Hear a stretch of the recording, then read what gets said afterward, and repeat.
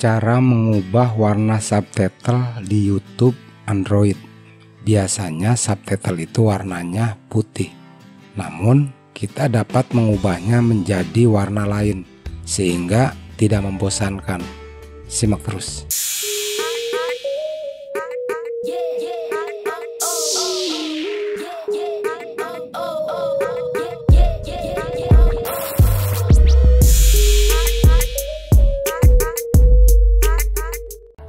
Assalamualaikum warahmatullahi wabarakatuh. Salam sejahtera bagi kita semua. Jumpa bersama saya di channel Bang Waseh. Di sini saya akan berbagi cara mengubah warna subtitle di YouTube Android.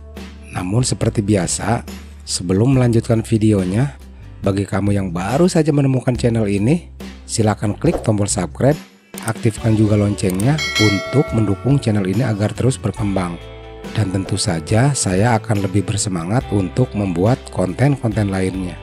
Dan bagi kamu yang sudah subscribe, saya ucapkan terima kasih. Semoga tetap sehat dan tambah rezeki. Amin. Mari kita lanjutkan videonya. Cara mengubah warna subtitle di YouTube sangatlah mudah sekali. Yang pertama, buka aplikasi YouTube, kemudian klik ikon profil yang ada di pojok kanan atas, lalu klik setelan kemudian scroll, klik subtitle, kemudian klik ukuran dan gaya teks, kemudian klik gaya teks. Di sini disediakan 6 pilihan. Saya biasanya menggunakan yang kuning berlatar hitam.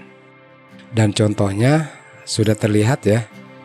Jadi nantinya teks akan terlihat seperti ini.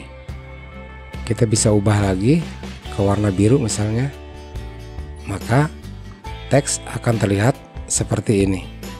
Dan biasanya teksnya itu seperti ini. Putih dengan background hitam. Tapi saya menggunakan warna kuning berlatar hitam. Kemudian kembali kita coba setel satu video ya.